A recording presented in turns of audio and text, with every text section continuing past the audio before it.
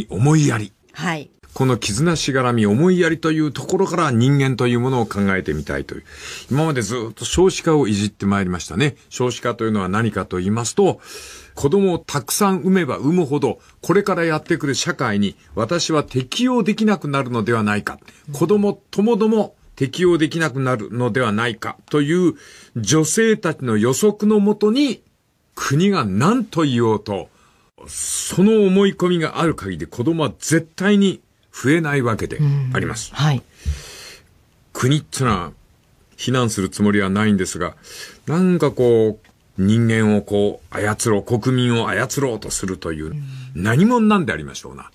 次は逆に国というものを考えてみましょうか。はいね、かつて国なんてものはなかった。そもそも、お人間にあったのは集団、群れでございますね。その群れと群れがくっついて、だんだんだんだん巨大化して、群れが、その、守れなくなった。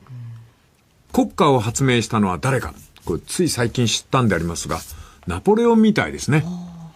なんでかっていうと、昔は兵隊さんはお金で雇わなきゃダメだったんですな。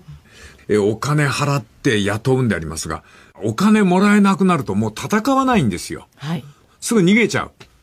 そこでナポレオンという人が国民海兵と言いまして、国民そのものを兵隊さんにした。はいこうしたら強くなっちゃったというところで、国民が戦うんだ。国民が兵隊なんだ。ということで、それをまとめる形として国家というものができたんで、えーございますが、はい。もともと国家なんていう単位が人間に理解できるはずがない。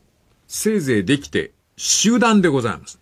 で、こう集団であるときに、そのお集団でグルーミング、これ、あの、猿がやってる毛づくろいっていう。はいこの毛づくろいという代わりに人間は皮膚感覚を研ぎ澄ます意味で毛を捨てちゃったもんですから、毛づくろいしなくていい。そこで思いついたのがトーク。お。おしゃべりをする。はい。ゴシップトークって大事なんだね。あの人浮気したらしいよとか。はい。ホテルからスタンプもらって貯めてまた使おうとしてたらしいのよとか。そういうことではい。笑ったりなんか。だから、ゴシップトークが一番得意なのはカナさん。やっぱり女性なんですよ。まあ好きですね。はい。このゴシップトークで一番大事なテーマは何かというと、あんた、好きなんだな好きですね。ええ大好きですね。そうです。それ猿です。そうか。それが猿の特性なんですよワ。クワクしますね、それは。ワクワクするでしょ？あの、ワクワクっていうのは快感なわけで、快感を知ってるっていうのは野生なんですよ。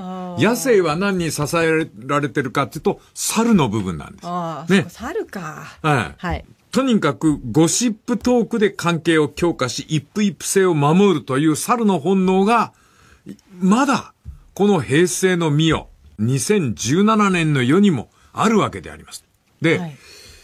少子化の問題は何が問題かというと、かなさん、やっぱね、あんたんとこどうか知んねえけど、子供を夫婦で育てているという勘違いが、子供を産む自信をなくしてるんだ。勘違いって何ですかね？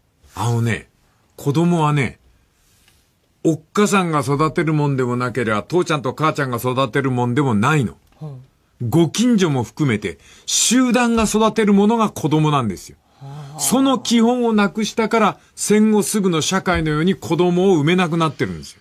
うーん。確かに今はそうじゃないですもんね。猿が安心して子供を産むのは、群れにいるからなんです。うーん。えっと、36人でいいんでしょ？かなさん、36人だって、ご近所。はい。ご近所で夫婦も含めて36人いると人間の集団は安定するんだって。36なんですか？36。数字をこれ覚えといて。はい。はい。で、なんでかって言いますと、ん36人いると夜寝ている時も誰か起きてんだって。その最低の数が36人。36子供が泣いたら世話をするっていう単位が36人。だから、子供が産みたければこの36人の隣近所が作れそうなところに、そこに仕事があることが大事なんだよ。はあ。これすっごい説得力あるでしょ。36。はい。そして、はい。人間が社会、私は今社会の中で生きてると思う人数、何人だと思う？えー、じゃあ、108とか。わあ、惜しい。惜しい。150人。150人。150人が人間にとって社会です、皆さん。150人いればいいんですよ。つまり、集団っていうのを150人の単位で考えた方がいいんです。150人が人間にとって社会です。これ面白いですよ。はい。こうやって考えていきますと、人間の本性、絆と思いやりとしがらみ、このそれぞれの何かが、あの、分かって、えー、くると思いません？すなわち、絆、思いやり。これが可能な単位が36人、最大で150人。それ以上は、しがらみになっちゃうんですよ。はあはあははあはあ、こうやって考えますと面白いものでございますな。この次また、明日のまな板の上でございます。あ。はい。ホテルからスタンプもらって貯めてまた使おうとしてたらしいのよ、とか。そういうことで、はい。笑ったりなんか。だから、ゴシップトークが一番得意なのはカナさん。やっぱり女性なんですよ。まあ好きですね。はい。このゴシップトークで一番大事なテーマは何かというと、あんた、好きなんだな好きですね。ええ大好きですね。そうです。それ猿です。そうか。それが猿の特性なんですよワ。クワクしますね、それは。ワクワクするでしょ。あの、ワクワクっていうのは快感なわけで、快感を知ってるっていうのは野生なんですよ。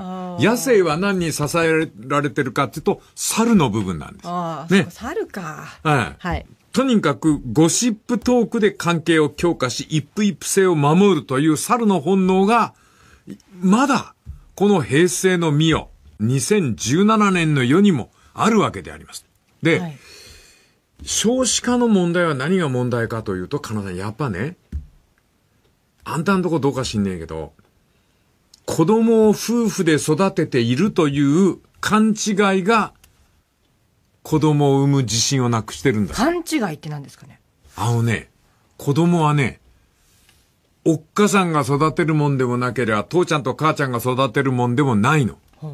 ご近所も含めて、集団が育てるものが子供なんですよ。その基本をなくしたから、戦後すぐの社会のように子供を産めなくなってるんですよ。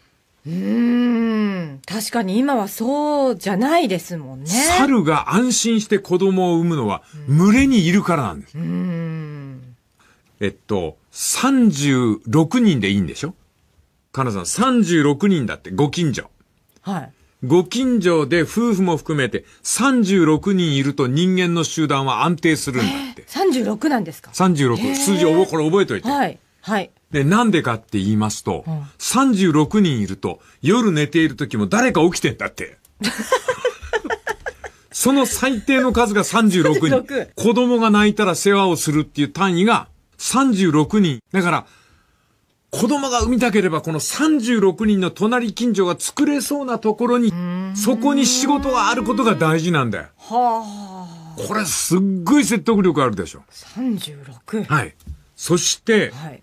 人間が社会、私は今社会の中で生きてると思う人数、何人だと思う？えー、じゃあ、108とか。わあ、惜しい。惜しい。150人。150人。150人が人間にとって社会です、皆さん。150人いればいいんですよ。つまり、集団っていうのを150人の単位ができたんで、えーございますが、はい。もともと国家なんていう単位が人間に理解できるはずがない。せいぜいできて集団でございます。で、これ集団であるときに、そのお集団でグルーミング、これ、あの、猿がやってる毛づくろいっていう。はいこの毛づくろいという代わりに人間は皮膚感覚を研ぎ澄ます意味で毛を捨てちゃったもんですから、毛づくろいしなくていい。そこで思いついたのがトーク。おおおしゃべりをする。はい。ゴシップトークって大事なんだね。あの人浮気したらしいよとか。はい。ホテルからスタンプもらって貯めてまた使おうとしてたらしいのよとか。そういうことではい。笑ったりなんか。だから、ゴシップトークが一番得意なのはカナさん。やっぱり女性なんですよ。まあ好きですね。はい。このゴシップトークで一番大事なテーマは何かというと、あんた、好きなんだな好きですね。ええ大好きですね。そうです。それ猿です。そうか。それが猿の特性なんですよワ。クワクしますね、それは。ワクワクするでしょ。あの、ワクワクっていうのは快感なわけで、快感を知ってるっていうのは野生なんですよ。野生は何に支えられてるかっていうと、猿の部分なんです。ね猿か。はい。はい。とにかくゴシップトークで関係を強化し、一夫一夫性を守るという猿の本能が、まだ、この平成の美代、2017年の世にもあるわけであります。で、はい。少子化の問題は何が問題かというと、かなさん、やっぱね、あんたんとこどうか知んねえけど、子供を夫婦で育てているという勘違いが、子供を産む自信をなくしてるんだ。勘違いって何ですかね？あのね、子供はね、おっかさんが育てるもんでもなければ、父ちゃんと母ちゃんが育てるもんでもないの。ご近所も含めて、集団が育てるものが子供なんですよ。その基本をなくしたから、戦後すぐの社会のように子供を産めなくなってるんですよ。うーん。確かに今はそうじゃないですもんね。猿が安心して子供を産むのは、群れにいるからなんです。うーん。えっと、36人でいいんでしょ？かなさん、36人だって、ご近所。はい。ご近所で夫婦も含めて36人いると人間の集団は安定するんだって。36なんですか？36、数字をこれ覚えといて。はい。はい。で、なんでかって言いますと、ん36人いると夜寝ている時も誰か起きてんだって。その最低の数が36人。36子供が泣いたら世話をするっていう単位が30